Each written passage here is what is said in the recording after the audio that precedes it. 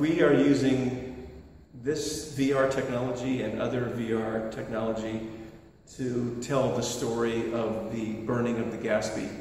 I humbly suggest, Your Honors, that due to the lawless and piratical character of the people of Rhode Island, the colony as a whole constituting nothing more than a nest of daring smugglers and lowlights. So this is the Google Jump VR camera rig.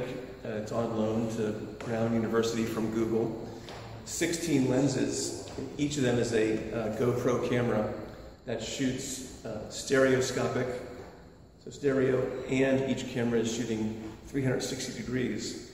And Google's software stitches the 16 um, cameras' footage together to create one beautiful, high resolution, high definition sphere so that after we shoot and edit, uh, a user, a viewer can don VR glasses and have the experience of being in the environment 360 degrees.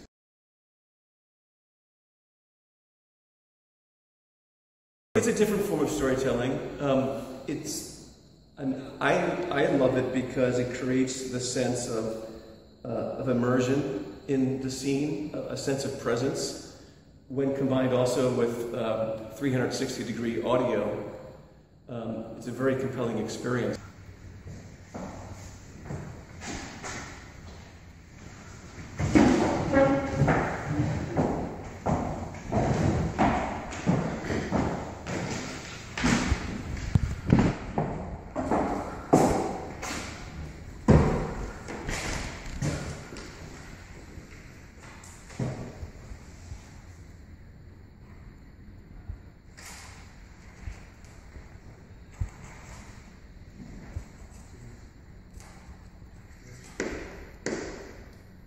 Admiral Montague, what have you to say about the general conduct of the colonists of Rhode Island?